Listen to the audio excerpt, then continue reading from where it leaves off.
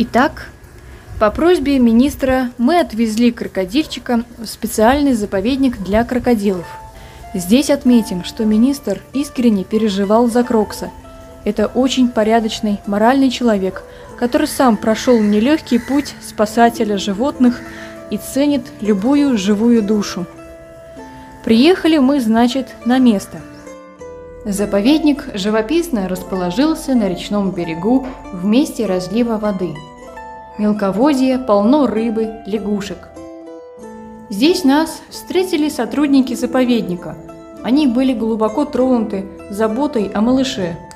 Мы все вместе выбрали место, где отпустить кусачие сокровища. Крокодилы чувствуют ваше настроение и все понимают.